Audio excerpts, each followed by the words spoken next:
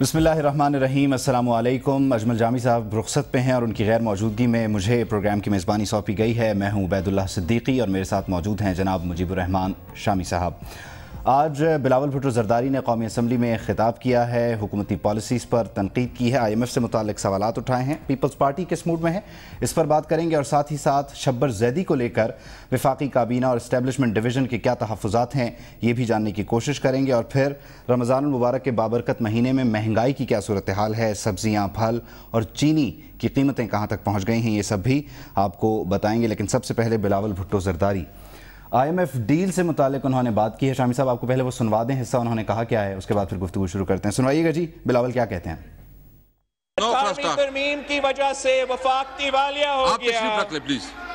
سچ تو یہ ہے کہ صوبے وفاقی حکومت کی ناکامی کی وجہ سے دیوالیہ ہو رہا ہے۔ اس حکومت کی ناکامی کی سزا عوام پیٹرول کی قیمت گیس کی قیمت اپنے بجلی کی بل اپنے دوائیاں کی بل ان میں، اس میں بھگت رہے ہیں۔ ایک سال میں چار بجٹس لایا جاتا ہے۔ ایسے لگتا ہے کہ آئی ایم ایف نے فائنانس منسٹری پہ، سٹیٹ بینک پہ، ایف بی آر پہ قبضہ کر لیا ہے۔ جب ایسے ہی لگ رہا ہے کہ I M F, I M F سے نیگوشیٹ کرے گا، تو پھر اس ملک کے عوام کو تکلیف ضرور ہوگا۔ آئی ایم ایف ڈیل کو ہم اس ہاؤس سے اپروول نہیں لیں گے۔ تو ہم اس ڈیل کو نہیں مانیں گے اور اس ملک کے عوام اس آئی ایم ایف ڈیل کو نہیں مانیں گے۔ آپ لوگ اتنا ٹھیک کیوں ہو؟ ایکسپنج کرتے ہیں۔ کیوں نہیں سمجھتے ہیں؟ آپ پلیز آپ کہ کنسٹرکٹیو کرٹیسزم ملک کے مفاد میں ہے۔ بہت ہی چھوٹا اور بنیادی سا مطالبہ ہے بلاول صاحب کا۔ دیکھیں جو آئی ایم ایف کے ساتھ جو بھی معاملے ہوتے رہے ہیں یہ پہلی دفعہ پاکستان آئی ایم ایف کے پاس نہیں جا رہا۔ اکیسویں بار یہ پتھر چاٹا جا رہا ہے۔ کیونکہ جب آپ کے پاس ڈالر کم ہو جاتے ہیں اور درامدات آپ کی بڑھ جاتی ہیں برامدات کم ہو جاتی ہیں تو پھر آئی ایم ایف کا دروازہ کھٹکھٹاتے ہیں۔ آئی ایم ایف جو ہے ایک کلب ہے ملکوں کا جس کا پاکستان بھی ممبر ہے۔ جب کوئی ممبر ملک فورن ایکسچینج کے کرائسس میں مبتلا ہوتا ہے آئی ایم ایف اس کی مدد کو پہنچتا ہے۔ اور پھر اس کے بعد ایسے اقدامات تجویز کرتا ہے جس کی وجہ سے حکومت کے ریونیو میں اضافہ ہو اور وہ آئی ایم ایف کا پیسہ دینے کے قابل ہو سکے اور دوبارہ اس سے بچ سکے۔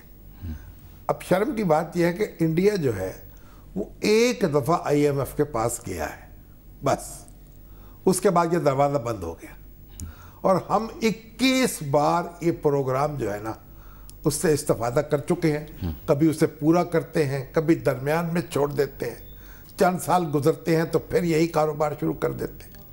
تو اب مسلم لیگ نون کی حکومت آئی۔ وہ بھی اس کو بھی آئی ایم ایف کے پاس جانا پڑا۔ لیکن وہ خاموشی سے چلے گئے۔ کوئی ہنگامہ نہیں کیا کوئی منفی اثرات مرتب نہیں ہونے دیے۔ اکانومی پر اسی طریقے سے پیپلز پارٹی کی حکومت تھی وہ بھی آئی ایم ایف کے پاس گئی۔ اگرچہ پروگرام اس سے پورا نہیں ہو سکا۔ اب پیپلز پارٹی کی حکومت میں عبدالحفیظ شیخ جو ہیں وہ فائنانس منسٹر تھے۔ جو کہ اب مشیر خزانہ ہیں۔ اب یہ کسی حکومت نے جو میرے حافظے میں کبھی بھی آئی ایم ایف کا پروگرام اسمبلی میں پیش نہیں کیا۔ اصولاً ان کی بات میں وزن ہے بلاول بھٹو زرداری کی۔ لیکن جب ان کی حکومت تھی کیا یہ پروگرام قومی اسمبلی میں پیش کیا گیا؟ کیا اس سے پہلے کسی حکومت نے یہ پیش کیا؟ ایسا کبھی نہیں ہوا۔ لیکن مطالبہ بھی تو پہلی باری سامنے آ رہا ہے مطالبہ پہلے بھی ہوتا رہا اس سے۔ اپوزیشن جو جب بھی جس وقت اپوزیشن موجود ہوتی ہے وہ اس طرح کے مطالبات کرتی رہتی ہے۔ تو مجھے نہیں توقع کہ یہ مطالبہ کو قبول کیا جائے گا لیکن بہرحال اگر قبول کر لیا جائے تو مجھے کوئی اعتراض سات سو ارب کی ٹیکس چھوٹ ختم ہو رہی ہے نیپرا اوگرا کو خود مختار ہیں ختم نہیں ہو رہی ٹیکس نئے لگ رہے ہیں۔ نیپرا اوگرا جو ہے خود مختار ہو رہے ہیں گویا حکومت سے پوچھے بغیر قیمت میں اضافہ کر دیں بجلی اور گیس کی۔ اسی طریقے سٹیٹ بینک کو جو اٹانومی دی گئی تھی کہ وہ جناب حکومت سے پوچھے بغیر وہ سٹیٹ بینک کا گورنر جو ہے وہ ڈالر اور روپے کی تناسب مقرر کر دے اور روپیہ کو ڈیویلیو کر دے۔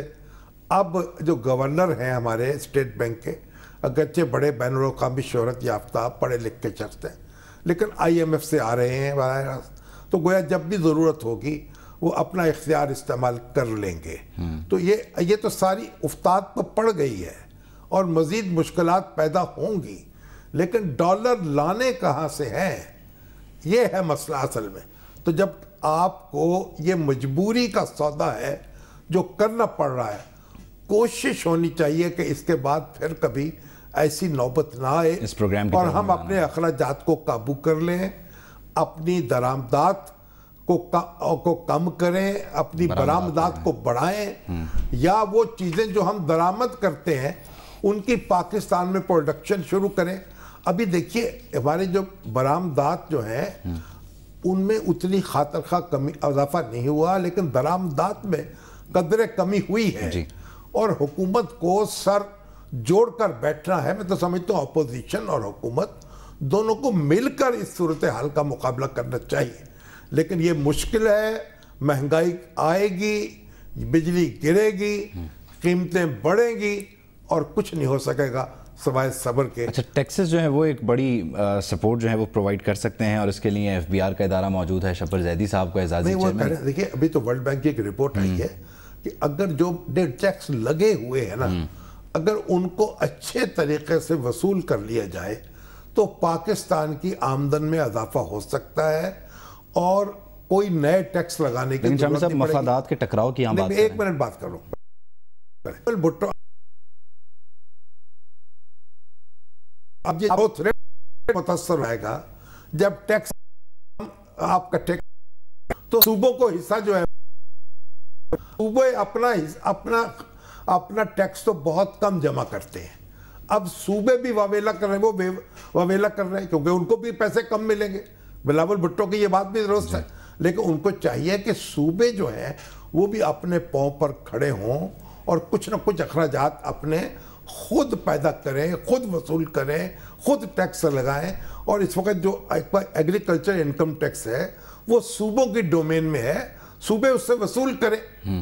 اب آپ بتائیے کہ وہ جو F B R F B R کا معاملہ ہے اس کو لے کر ایک تو نقطہ یہ ہے کہ وہ تقرری چیلنج ہو جائے گی قانونی معاملات میں جیسے علی ارشد صاحب دو ہزار تیرہ میں پھنس گئے تھے۔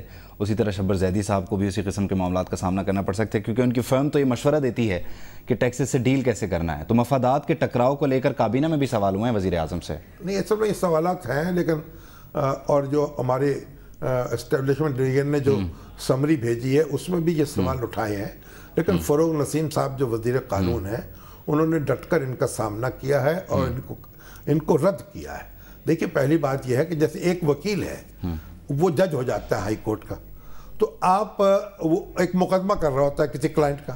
وکیل کے طور پہ پیش جی۔ ہوتا ہے مقدمہ لیتا ہے۔ جج ہو جاتا ہے۔ اس کے مقدمات بھی زیر سماعت ہوتے ہیں۔ پھر وہ جج ہو جاتا ہے۔ تو پھر کیا ہوتا ہے؟ پھر یا تو مقدمے چھوڑ دیتا ہے فیس واپس کر جی۔ دیتا ہے یا کسی اچھا، دوسرے بات کو سونپ دیتا ہے۔ آگے آگے بڑھائیں گے لیکن ایک بریک ایک بریک کا وقت ہو گیا بریک کے بعد واپس آتے ہیں پھر اس سلسلے کو آگے بڑھاتے ہیں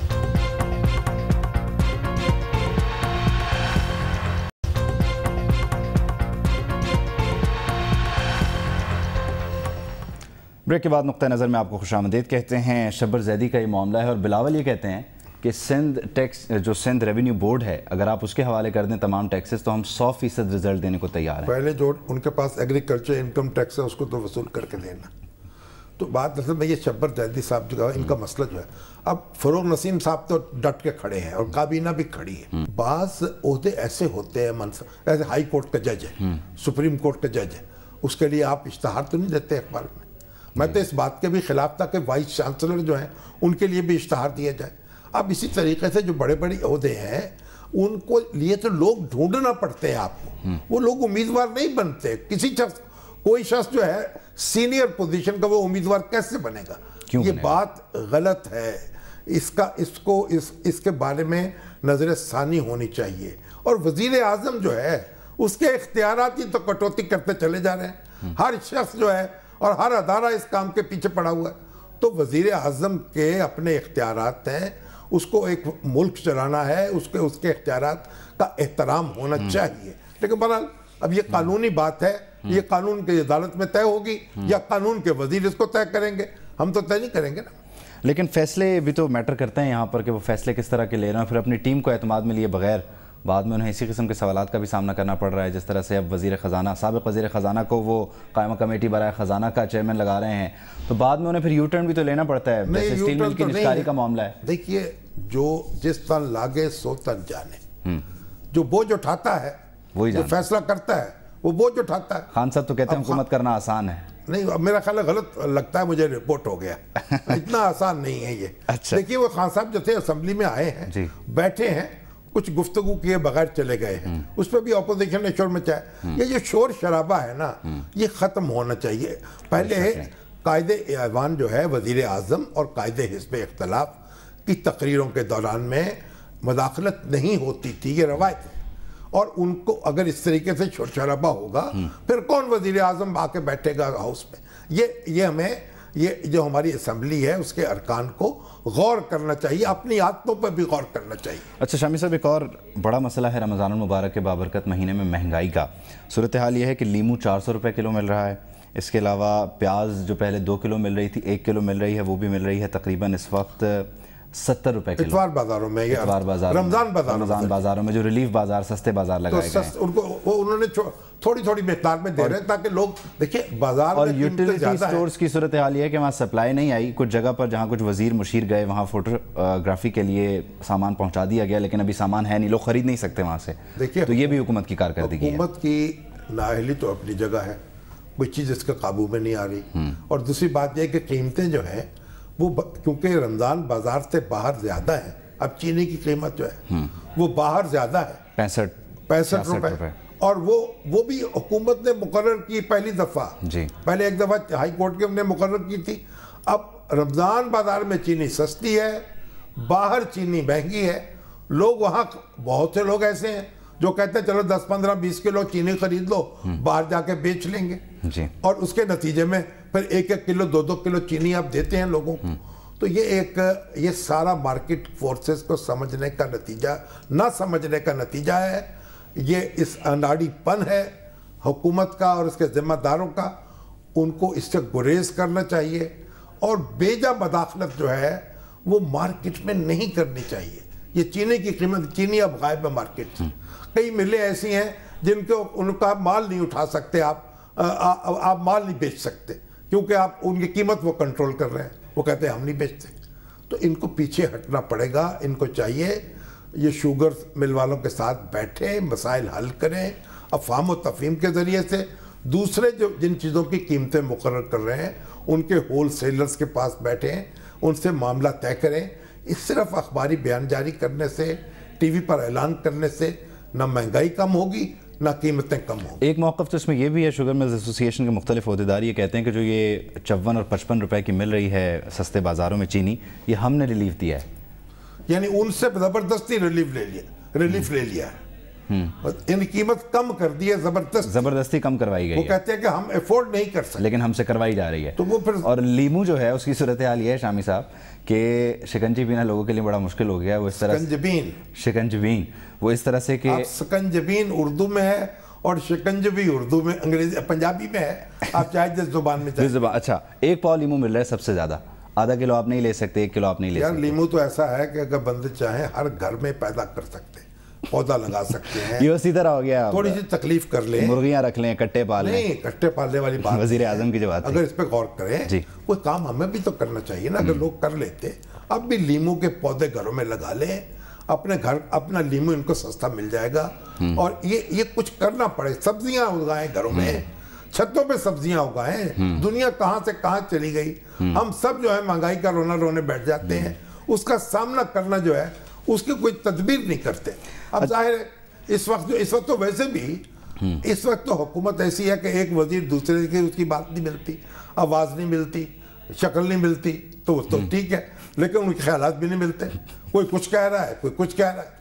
اچھا شامی صاحب ایک اور معاملہ گزشتہ روز جو لاہور میں دھماکہ ہوا داتا دربار پر اس میں ایک اور زخمی جو ہیں وہ شہید ہوئے ہیں۔ پولیس سے ان کا تعلق ہے اب تعداد گیارہ ہو گئی ہے۔ جبکہ جو تفتیشی حکام ہیں وہ یہ کہتے ہیں کہ جو سی سی ٹی وی فوٹیج تھی اس میں جس شخص کو پوائنٹ آؤٹ کیا گیا کہ خودکش بمبار ہے وہ خودکش بمبار نہیں ہے۔ تو اب اس کو فردر انویسٹیگیٹ کرنا ہے کہ ان سب میں خودکش بمبار کون تھا جس نے اس مرکزی دروازے پہ آ کے بلاسٹ کیا۔ دیکھ سی سی ٹی وی کیمرے لگے ہوئے ہیں۔ تصویریں بن رہی ہیں۔ موومنٹ ساری کہتے ہیں کہ ہم city. کر رہے ہیں۔ تو پھر تو اس کو اس بندے کی نشاندہی تو اتنی مشکل نہیں ہونی چاہیے نا۔ دیکھیے آپ بدقسمتی سے ہمارے ہاں جب کوئی ہنگامہ ہوتا ہے تو ہم اٹھتے ہیں بیدار ہوتے ہیں اس کے بعد پھر سو جاتے ہیں۔ اور یہ اس وقت جو حکومت ہے اس کو اپنے بارے میں غور کرنا چاہیے کو اپنا تحکم قائم کرنا چاہیے۔ ان کو پتہ ہونا چاہیے ان کو بتانا چاہیے ان کا نام حکومت ہے۔ حکومت حکم سے ہوتی ہے۔ اس کو حکم جاری بھی کرتی ہے نافذ بھی کرتی ہے۔ اس بیچاری کو پتہ ہی نہیں چل رہا کہ یہ حکومت ہے کیا چیز؟ کرنا کیا ہے؟ اس کو دھوپ میں کھڑا کرنا ہے چھاؤں میں بٹھانا ہے اس کا اچار ڈالنا ہے یا مربع میں استعمال اکثر بھول بھی جاتا ہے نا بشرا بی بی پھر انہیں یاد دلاتی ہیں کہ آپ ہی وزیر اعظم ہیں۔ ان کو پتہ اس لیے غور کر لیں یاد کر لیں اپنے آپ کو سمجھ لیں۔ یہ اس طرح ٹامک ٹوئیاں مارنے سے کام نہیں چلے گا۔ مشکلات پیدا ہوتی چلی جائیں گی۔ مشکلات پیدا ہوں گے اور اس مشکلات سے نکلنے کا ایک ہی طریقہ ہے بہتر حکمت عملی۔ ابھی تو یہ ہنگامہ کھڑا کر دیا گیا کہ یہ جو ڈالر بڑھ گیا تھا تو یہ اپنا یہ باجوہ صاحب نے اور یہ جہاں زیب نے کیا تھا ایک ایک ٹی وی یہ بھی لگ گیا۔ یہ نواز شریف کے ساتھ مل کے یہ نہیں ان کی سازش تھی۔ اب اس پہ لوگ ہنس رہے ہیں اور راتوں رات کچھ opposition لگا رہے ہیں۔ ارب پتی ہو گئے یہ بھی ایک واقعہ یعنی تھا۔ مطلب ایک ایسی بے سروپا کہانیاں اڑائی جا رہی ہیں جو لوگ سنتے ہوں گے۔ دنیا میں تو ہمارے بارے میں کیا کہتے ہوں گے؟ کس طرح کی قوم ہے ہم؟ کس طرح کا ہمارا میڈیا ہے؟ اور کس طرح کے ہمارے تبصرے کرنے والے ہیں؟ شامی صاحب، پروگرام کا وقت بھی اسی کے ساتھ ختم ہو گیا تو پروگرام سے اجازت دیجیے انشاءاللہ پیر کے روز اجمل جامی صاحب آپ کو جوائن کریں گے۔ اللہ حافظ۔